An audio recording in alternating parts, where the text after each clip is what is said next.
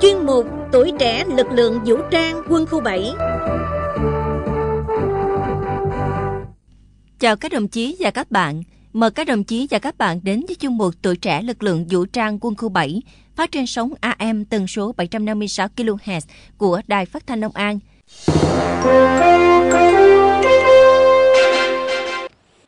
Bộ Quốc phòng tổ chức hội nghị trực tuyến tổng kết hoạt động đối ngoại quốc phòng năm 2016. Thượng tướng Nguyễn Chí Vịnh, Ủy viên Trung ương Đảng, Thứ trưởng Bộ Quốc phòng chủ trì hội nghị. Tại điểm cầu quân khu 7, Thiếu tướng Phan Tấn Tài, Phó Tư lệnh quân khu chủ trì. Năm 2016, hoạt động đối ngoại quốc phòng được triển khai đúng chủ trương, đường lối của Đảng, Nhà nước và chỉ đạo của Quân ủy Trung ương Bộ Quốc phòng. Trong đó nổi bật là hợp tác quốc phòng, song phương có trọng tâm trọng điểm, nhiều hoạt động mang ý nghĩa chính trị cao, đó là công tác hợp tác đào tạo, khắc phục hậu quả chiến tranh, hỗ trợ nhân đạo, cứu hộ thảm họa, trao đổi kinh nghiệm tham gia lực lượng gìn giữ hòa bình của Liên Hợp Quốc.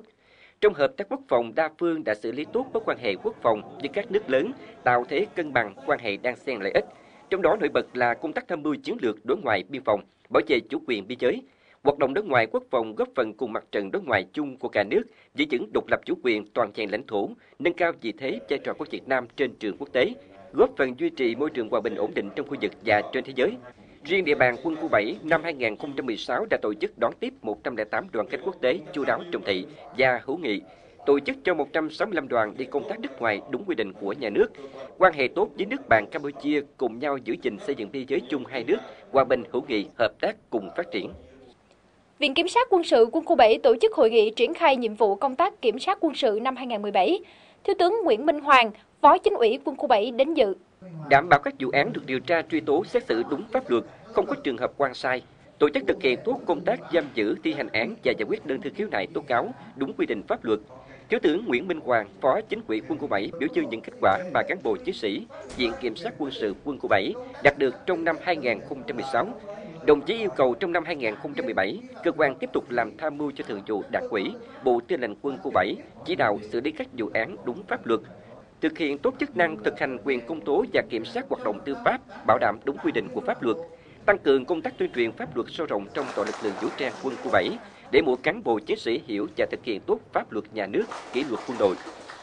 Quân khu 7 tổ chức hội nghị tổng kết ngành quân báo trinh sát năm 2016 và triển khai phương hướng nhiệm vụ năm 2017. Thiếu tướng Lê Vũ Tuấn, Phó Tư lệnh Tham mưu trưởng Quân khu 7 tới dự.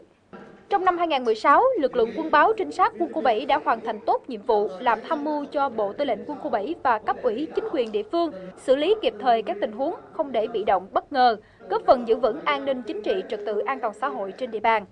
Hội nghị đã thảo luận đưa ra nhiều cách giải quyết các vướng mắc mà trong năm qua ngành chưa thực hiện được để ngành tiếp tục hoàn thành tốt nhiệm vụ. Trên cơ sở đó, ngành đã đề ra những nội dung phương hướng thực hiện các nhiệm vụ năm 2017 trong đó tiếp tục tập huấn, nâng cao trình độ chuyên môn cho đội ngũ cán bộ quân báo trinh sát ở các đơn vị địa phương, đảm bảo hoàn thành tốt các nhiệm vụ được giao, nắm chắc tình hình và thu thập thông tin bảo đảm tính chính xác kịp thời. Trung tâm Thể dục Thể thao Quốc phòng 2 Quân khu 7 tổ chức tổng kết công tác năm 2016 và triển khai nhiệm vụ năm 2017. Năm 2016, bằng sự quyết tâm khắc phục mọi khó khăn, trung tâm đã triển khai thực hiện thắng lợi nhiệm vụ được giao, đạt 264 quy chương, trong đó có 69 huy chương vàng, 69 huy chương bạc, 108 huy chương đồng. Năm 2016 có 22 huấn luyện viên, vận động viên của trung tâm tham gia đội tuyển quốc gia thi đấu 8 giải quốc tế đạt 8 huy chương, trong đó có 2 huy chương vàng, 2 huy chương bạc và 4 huy chương đồng. Dự án đầu tư xây dựng viện chấn thương chỉnh hình do Bệnh viện Quân y 175 làm chủ đầu tư, công ty 319 là đơn vị thi công, được khởi công xây dựng vào ngày 23 tháng 5 năm 2015. Tổng diện tích xây dựng là 66.055 m2 với quy mô gồm một tầng hầm và 9 tầng nổi. Công trình được thiết kế 500 giường bệnh, có diện tích dự phòng đủ cho 650 giường trong trường hợp có thảm họa hoặc chiến tranh xảy ra. Đây là viện chấn thương chỉnh hình hiện đại, kỹ thuật cao, công năng được sắp xếp khoa học, có cơ chế điều hành quản lý tiên tiến để cung ứng dịch vụ khám, chữa bệnh, chuyển giao công nghệ và đào tạo nguồn nhân lực chất lượng cao, góp phần giảm tải cho các bệnh viện trung ương và bệnh viện tuyến cuối của thành phố Hồ Chí Minh. Bệnh viện Quân y 7A Cục Hậu cần Quân khu 7 và Bệnh xá đảo Trường Sa Đông, quần đảo Trường Sa tổ chức lễ kết nối, nghiệm thu và bàn giao hệ thống telemedicine. Hệ thống telemedicine bao gồm hệ thống camera màn hình, hạ tầng kỹ thuật, đường truyền và trạm vệ tinh Vinasat trang bị bảo mật y tế, bảo mật quân sự và các thiết bị bổ trợ.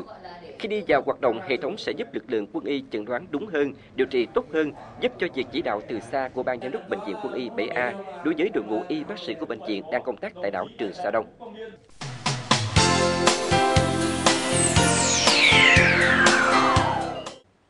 Để nâng cao chất lượng huấn luyện, sẵn sàng chiến đấu, hơn một năm qua, Lữ đoàn 26 quân khu 7 đã triển khai thực hiện mô hình kiếp xe quyết thắng tại các đại đội trong toàn lữ đoàn. Hiệu quả bước đầu cho thấy chất lượng huấn luyện sẵn sàng chiến đấu được nâng lên, thể hiện rõ nét qua đợt diễn tập thực binh có bắn đạn thật vừa qua.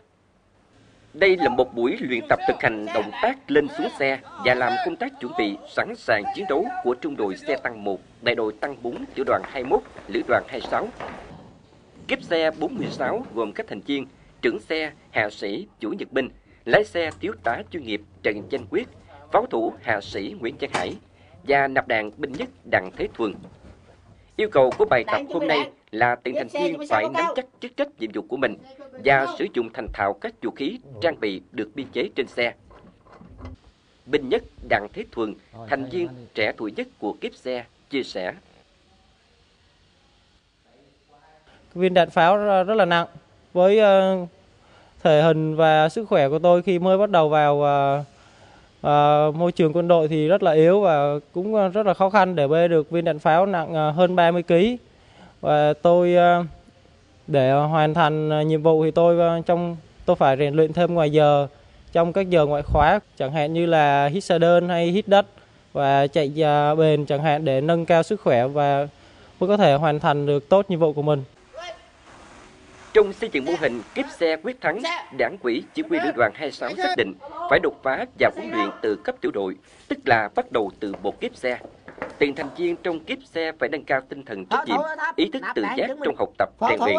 Từ đó nhân rộng ra nhiều kiếp xe, tạo thành phong trào thi đua sôi nổi giữa các kiếp xe, cũng như giữa các đại đội, tiểu đoàn.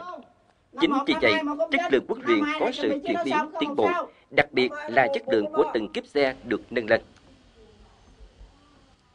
Qua cái buổi luyện tập ờ, ngày hôm nay thì ờ, các thành viên kiếp xe đã nhanh chóng và đã nắm chắc được cái ờ, vũ khí trang bị sử dụng thành thạo và cũng như là xử lý tốt được các tình huống trong quá trình luyện tập để từng bước nâng cao được cái khả năng hiệp đồng, sẵn sàng chiến đấu ở như trong kiếp xe cũng như ở trong trung đội và cấp cao hơn nữa. Để mô hình kiếp xe quyết thắng đi vào chiều sâu vững chắc, từng quý cấp đại đội trong lữ đoàn đều tổ chức sơ kết rút kinh nghiệm đánh giá nội dung đạt được và chưa đạt được để có biện pháp khắc phục trong thời gian tới. Đồng thời có sự biểu dương khen thưởng các kiếp xe đạt thành tích cao trong phong trào thi đua. Từ khi thực hiện à, cái mô hình này thì tôi thấy là bản lĩnh chính trị rồi là chức trách nhiệm vụ của từng thành viên kiếp xe là đã được nâng lên một cách là rõ rệt. Đấy, từng kiếp xe, này, từng thành viên kiếp xe đã hiệp đồng với nhau rất là chuẩn xác và kịp thời. Đặc biệt là trong quá trình là tổ chức thực hiện nhiệm vụ là trong quá trình huấn luyện sẵn sàng chiến đấu thực hiện nhiệm vụ diễn tập cuối năm có bắn đạn thật thì từng thành viên kiếp xe rồi từng kiếp xe đã tổ chức là hiệp đồng rất là ăn khớp và nhịp nhàng và hoàn thành xuất sắc các nhiệm vụ được thủ trưởng bộ tư lệnh quân khu là tặng bằng khen không ngừng nâng cao chất lượng huấn luyện sẵn sàng chiến đấu là yêu cầu đặt ra thường xuyên đối với các đơn vị trong quân khu 7 để hoàn thành tốt nhiệm vụ bảo vệ Tổ quốc trong tình hình mới. Với mô hình kiếp xe quyết thắng của Lữ đoàn 26, đây là một biện pháp thiết thực và hiệu quả trong việc nâng cao chất lượng huấn luyện sẵn sàng chiến đấu. Mỗi thành viên của kiếp xe là một hạt nhân quan trọng trong việc xây dựng bản lĩnh, ý chí quyết tâm chiến đấu, sẵn sàng nhận và hoàn thành tốt mọi nhiệm vụ được giao của cả kiếp xe cũng như toàn thương chị.